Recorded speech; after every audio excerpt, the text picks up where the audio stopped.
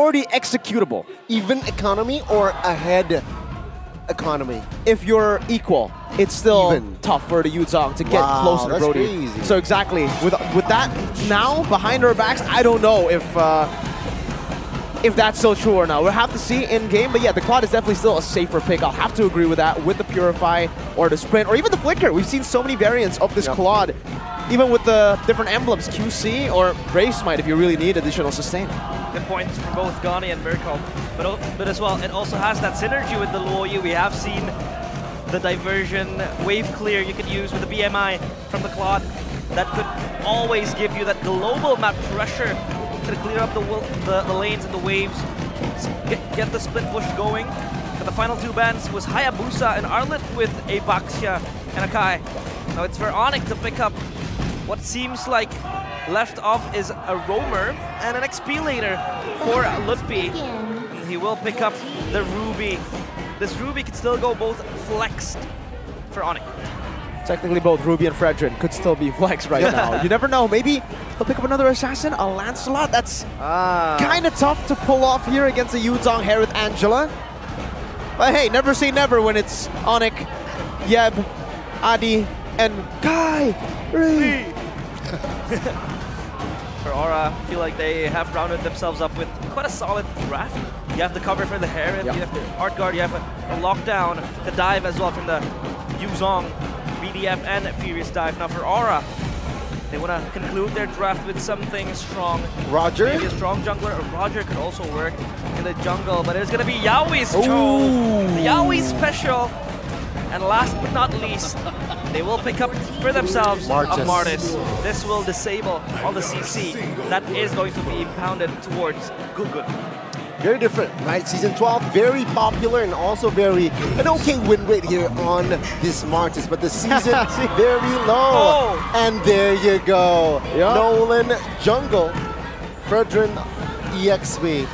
Oh man, I, I'm a I'm That's a Onyx. solid hater of the Fredrin XP, but it seems for Onyx they somehow are able to make it work. A lot of these situations, they're able to just find the real way to make these compositions work. But with the Nolan this time, it's already quite different, right? You're pretty vulnerable to the Cho as well. Even technically the dive from the Yu Zhong and the Harith, when you go for these all-ins, there's so much sustain on Aura. It's going to be kind of tough for Nolan to choose who to target in these team fights. Technically, who are you really going to be assassinating here, right? Maybe the Angela, but the Angela will definitely be a bit further back. And if we take a look at the Aura counter index and lineup rating, it does favor them. So we'll see in the Land of Dawn if the execution can play a bigger part than the lineup rating. Can the Sky Kings strike twice and conclude this series, or will the red fiery dragons till the enemy fight back and fly high? Back to the land of dawn we go for game number two of Aura Esports against Onyx. Land of Dawn, here we go. Welcome with uh, to Mobile the dragons Legends. and wings clipped. Will they be able to withstand the pressure from the Sky Kings? Let's see what will Gugun do on this Martis. Again, very, very rare this season to see a Yeah. Martis in the jungle. Will he be able to pull it off? I speculate this would be a very quite tough early game for Kairi to play with the Nolan, especially you have the tanks up in the Yu Zhong and the Martis as well. Just kind of like out damages you in the early game. Yeah. In the clear department as well, though, the Nolan should still have an advantage. That's one of the strengths of this Nolan. Mm-hmm. Really, really fast clear. And let's take a look at the emblems here. So far, still very, very classic, but Kabuki, ooh, interesting choice here. Inspire and the Festival of Blood. Trying to out-sustain Onyx, something that we were talking about. The Nolan is going to have a tough time, especially with the sustained aura already have without the Festival of Blood on Kabuki. Now with the Festival of Blood, he's going to have a better time. And Gugun on this Martis, you're right, Gani. We haven't seen this pick a lot, and I think for Gugun especially, this is the first time mm. in Season 13 that we see him on it. And it's on an Impure Rage, which is another interesting choice to go for. So I believe it does look like Gugun wants to go for a full utility build, a full tank build maybe. Maybe the the the most he can do with some damage would be a Fury Hammer, and then he will just play purely to be the sandbag and maybe to execute when Onic get low. For Onic though, Lutpi up top, under pressure for three members. Yawi could get caught, but he's fine. Fine and dandy, because the kill pressure early on from Onic with the Ruby and Nolan is quite strong, especially that Nolan able to get level 4. They're eyeing towards this top lane. Sans is there to back them up. Turtle spawn, this could be the next menu for both teams. They march their way towards the turtle pit. Here's a, a future problem thought, right, for Aura. Do you think that this composition has enough wave clear here? I don't see apart from Harris, but let's see here in, in mid-push, Yawi will be hmm. forced to use the flicker early now. Gugun will find the first neutral oh, objective. Good oh. Petrify will force Lupin to use the flicker, but Kiboy will be caught in the first blood. This time, Aura will find the first blood. First blood for Gugun, and they get the turtle as well. So that's a net win for Aura to try to take charge and control of this early game. Does seem like Aura are trying to fight fire with fire. A big problem in their comp would be, yes, that wave clear, but you won't need wave clear if you're winning in the early game and snowballing, if you're the ones being proactive on the map. That was what they were lacking in game number one, and at this point, they're just trying to beat Onic at that game of the early game snowball. Onic, on the other hand, has taken a step back from the Brody, from that snowballing composition to now a bit of a safer comp with that late game insurance on the Claude. So for Onic, it's a bit more of, let's wait for that mid game, for that power spike to hit on our Claude, and then we will take the fights. In the early game, we won't commit as much, and that's why we, we saw an instant disengage from Onic. Only one member picked off, and the rest acted on it. Just gave Kiboy up for the sacrifice. This composition does kind of like looks to excel and snowball in the early to mid game later on. So yeah, the wave clear might not be as relevant because you have every potential lead. Oh, Kiboy is able to dodge Yawi. A little taunt there, but all is good. They're trying to contest this purple buff in the hands of Aura. And now how does Fredrin approach this? But a kick from Kiboy yeah, towards Kiboy. It was deflected earlier, but Kiboy with his dexterity was able to find the flicker and out of that sticky situation. A lot of confidence from Kiboy in the series, especially in the first game. Now to the second game, He's been able to just maneuver so freely around the map. Uh, very different approach here. CW actually with the first item, Corrosion Scythe. Knows that he won't be in the lane too much. He actually wants to participate in these team fights, knowing where, that the Corrosion Scythe build basically is for the additional utility in the early game. Let's see how CW takes this, because there's no lane swap for now. They want to go for it. Wave Dragon already committed. Oh, Gugun will secure the second neutral objective. Oh, good petrify onto Kairi. Kairi. The damage will come oh, through. One oh. HP run with the life steal secures it. And now our Aura, they are looking for more potentially here in the bottom side of the map. Shaman 4 is invested, but it seems like Onic, they will not commit more here. They will just back away. Aura, still looking for potential angle with Gugun. Also in the vicinity, 3v2, 4v2, potentially with the diversion play Diversion. on it. Looking for backup with Sans now, joining the fray. But it seems like Aura, they just want the turret.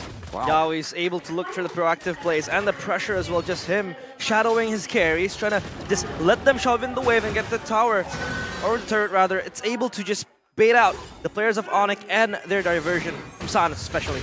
Yeah, another win for Aura because they got the turtle and a kill. They traded a turret as well, good conversion, but Onic still were able to find ways to nullify the early snowball from being a big one, right? It's still just a 1,000 goal lead. This can build up again for Aura if they continuously just look for these fights and if Yawi is able to find those big picks again. But if Onic stay at this kind of stalemate with it only being a 1k gold lead, it's going to be super, super valuable for Onic. Again, their power spikes are going to hit a bit later, and Aura, that threat that Gani mentioned in the later stage where their wave clear isn't too good, will come back to bite them if they don't get this big lead fast. Like Onic is so good in trying to just keep up and stabilize this lead. Aran in the bush. He's spotted out. They could engage on him. Whoa! Smells Aran. He smells a dragon. Now he is flying with the Black Dragon from Blazing Duet invested. The with the help of oh. Yawi. Wave Dragon as well. Now CW will be the first oh. one to fall alongside wow. Good recovery as Kiboy will fall as well. Good comeback here by Aura. They are not messing around in the second game. Aran is the embodiment of the dragon. Two dragons, three dragons even, letting Aran win that fight and prolong it to, for a backup to come. Goosebumps 1v4. Aran won it with the help of the Angela. Wow, man, don't give this guy the Terizla. Give him damage dealers, man. Give him playmaking heroes. Because my goodness, what was that? Wow. He was able to just kind of survive that little gank, that little skirmish, that little pickoff that Onic was looking towards him. The diversion play was there. He was trapped in no man's land. And the hard guard though, we gotta, pro we gotta give props to Yeskiel as well for saving Aran in that scenario. But the backup from Aura was also too good. CW can be stuck here. Oh no, we have Dragon committed now with Diversion. the cover of Kiboy. Lutpi and Sans with the teleportation. But it seems like another structure in the top side will fall. Onyx has no anti-region. That's why Yu Zhong and Angela just wreaks havoc against composition, against Onyx composition as of now. Yeah, I mean, only the Fredrin has it down in his ice now, and uh, Lutpi hasn't been really active around the map. He's been now getting more game time around the map with the help of diversion, but he was actually the one trading on the other side previously, and now it does get very, very tough for Onyx. They, Aura, have been able to build up a 2.2k gold lead, and with the consistency of how Yawi finds these picks, Yeah. Onyx are going to have to work some overtime shifts here to try to work out where Yawi is, how to go in, because even CW with a Purify, Aura's got those timers down to a T. They timed it really, really well, catching CW up top earlier as well. And if it continues, again, just baiting out these Purifiers will be very, very valuable for Aura, because we were talking about how Claude was the safer pick compared to Brody. If that Purifier is burnt out, he's actually a, a riskier pick than the Brody because he doesn't have the early game that Brody does to withstand a lot of these initiations from Aura. Claude, of course, kind of like high risk, high reward. I mean, it is lower risk compared to the Brody, but then again, like what Mirko explained, the Claude does not really excel when it does not really, you know, reach that power spike it is longing for. Now, Lord is kick-started by Aura. This could lure Onic inside. Kiboy with a conceal. They might go for this. Shaman Force committed. Lutpi. Now you see him, now you don't. No, Kiboy now will be the next target. Flickers is not going to save him much. Arando will secure the kill. Secures the Mega. 7 and 0 for Aura this game. Such a crazy series. Deja vu. It's like the first game, but this time the tables have turned. It's Aura, in the driver's seat, and Aran taking charge. Seven kills, and he has four kills to his name. 4 0 and 3. And Kiboy can't really soak in any damage. He already has a Dreadnought armor, but that's definitely not enough. Not now, at least. CW is still quite far away. Actually, it's, quite closer to Golden Staff, but again, it might be too late because if you take a look at the Harith, Divine Glaive built up. So he chose to go for the Divine Glaive instead of the usual Holy Crystal as the third item. And now, if he gets that Holy Crystal, the Fredrin won't even be able to tank it up. He still has Dominance Ice. Okay, so the Ruby Kiboy is actually gone for the Athena, so he wants to try to soak in some of that damage from Kabuki, but still, I don't think Kabuki will be targeting him. He'll be looking for the other members or even just the turrets as of, as of right now. 4.4k gold lead, utilizing the gold lead really well, Aura. On it with a good defense, but the more map pressure that Aura have, the less and less that threat of that wave clear will have on Aura, and Aura can just completely control the map with that Cho. It has been very hard for Lutpi to just maneuver in the team fights. I mean, with the Fredrin XP, you know, he's very limited to his options. He's trying to soak up the damage, but the damage from Aura has just been immense. Yawi looking for another pick. Ooh, cancel. Yeah, this might be a mistake by Yawi. Onyx responds very well now. Gugun will run for the hills as Onyx, they will reclaim the purple. And Onyx finally gets a first kill, gets the first kill on the board. Oh, Oh, diversion play! Instantly adding one to the board again. Aran evaporates. There is damage from Onyx when they're ganged up as 4 and Aran does not have the regen with the hard guard. So that is their window frame to just take down this big dragon. And that's the best possible target that Audit could actually hope for. A shutdown. The only guy with a bounty. They get that shutdown. Was that on Sans? That No, it was on- actually on Kiboy. So, Kiboy. You know, the shutdown was great. The target was great. But the fact that T Boy got the gold, it makes it not as worth it. Still, very valuable though for Onyx because they are able to withstand this early to mid uh, onslaught from Aura. But yeah, Aura needs to be a little bit more clinical when it comes to those initiations, when it comes to those pickoffs, because one small mistake could lead up to a lot of mistakes. Knowing that the Luo Yi can put on crazy flanks around the map. Yawi constantly looking for the pickoffs, but sometimes it just bites him from the back because Onyx is just more than prepared. I mean, there's there were a lot of disengages from them, and then they would turn the tides around and just re-engage back towards Yawi. So Yawi needs to be careful on which pickoffs he wanna he wanna look for because sure, sometimes he can fly from behind, he can look for the important pickoffs, maybe towards CW, but then CW might step too far. He's fine. All good because he has the BMI. Now, of course, towards the Lord they go. This could be another brawl for the Lord. Seems like Onic, they will have the arsenal to contest this enhanced Lord. Top side still in favor of Aura though. And Onic, they will take their time as well to find the right angle to set up. And CW has already hit his power spike now. He already has the three items, the Golden Staff, the DHS, and the Corrosion. And he's just finished that Malefic Roar. Meanwhile, for Kabuki, another big power spike for him too as he finishes up the Holy Crystal. Fourth item in his arsenal with the Divine Glaive already built up. Onyx will have to be very, very careful as to how they initiate.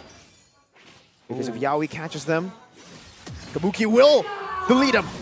See, it seems like topside CW will be sent, but Lutpi, the first one to fall now. Kiboy looking for a position. Gugun secures the Lord. Let's take a look at CW now with the BMI back. Will not be able to find anyone. It's a 1-4. No, it's a 2-4-0 for Aura. Onyx sent CW up top with the diversion and the BMI to come back because he was trying to split push, he was trying to get the side lanes going, but the fight was just engaged by Aura, so there was no damage from Onyx to try to withstand that front line from Aura. So Onyx again conceding the Lord, conceding the kills towards Lutpi. Again, well played by Yawi. Finding the clinical initiation, knowing that Harith has hit his power spike, not just the Divine Glaive, also the Holy Crystal to delete anyone. So he can choose whoever he wants. Meanwhile, hold up. That's a Nolan sent to the back by the diversion. Oh, again, this is a tough, tough spot to be in for the Nolan too, though, because if he chooses Kabuki, I don't think he can assassinate him. Can he assassinate Aran? I don't think so. A lot commit on towards Aran, that's for sure. And Onyx, these is why this is why I feel like Onyx they will feel okay-ish during defense. They have a very good a very good high ground. They have Claude, they have Luo Yi that can definitely just clear wave fast. But at least they're using this diversion to its maximum. I mean, they're looking for flying angles. They're sending CW up top split push. So at least they're trying to alleviate extra pressure by Aura. But again, Yawi is just so confident moving forward. Oh, Yawi is might be a mistake. Face checking into a four Onyx members mm. now. Oh. Diversion towards the oh my. God. Kabuki with the flicker. Oh! oh the collapse by Onyx. Hard Now guard. hard guard pops as well, but Kairi will not Wow. survive the fight. Kabuki. Looking to reposition. No immortality for Keyboard Lippy. Taken down as well as Aran, the dragon, collects the double. Saving Private Kabuki. He gets jumped on. He gets engaged upon. But the hard guard was so clutch. And Kabuki now leads the charge towards the crystal. We might see a game three, ladies and gentlemen. Aura, they did it in leg one. They might do it again in leg two. Sans and CW looking to clear, waiting for Kairi and Kiboy. 12 seconds. Will it be enough? Aura looking to jump on towards Sans, Sans. flickers away. CW with a blazing duet will not be able to defend as Aura. The Red Dragons force a game three. The Red Dragons take flight. They're able to burst their fire again. And the Sky Kings humbled. They have to get ready for game number three. What a performance by Aura in game two. It was a statement by Onyx in game one, and the Dragons have recovered. Onyx took the 4v5, and it's so poetic how in this game, every time